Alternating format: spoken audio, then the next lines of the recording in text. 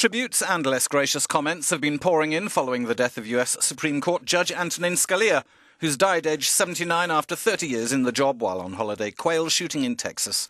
He was appointed by Ronald Reagan in 1986, and President Barack Obama wants to replace him quickly.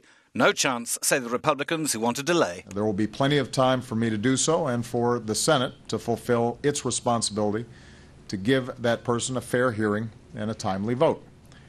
These are responsibilities that I take seriously, as should everyone. They're bigger than any one party. They are about our democracy. The Republicans want a hopefully Republican president to make the nomination in November. But observers note the Supreme Court has never gone nearly a year without being at full strength, and that any Republican delaying tactics for that long would pose constitutional questions. However, the American right, which has lost one of its champions, is determined Scalia should be replaced with a similar, staunch conservative when you have